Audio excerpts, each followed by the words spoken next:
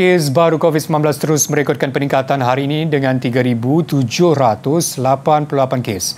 Ketua Pengarah Kesihatan Tan Sri Dr. Nur Hisham Abdullah dalam hantaran di laman Twitternya berkata, daripada jumlah itu Selangor mencatatkan jumlah kes paling tinggi iaitu 1,265. Ini diikuti dengan Sarawak 760 kes dan Kelantan 464 kes. Jumlah kematian baru ialah 14 orang, manakala kes kembuh ialah 2,000 1,640 kes dan 17 kluster baru dikenal pasti.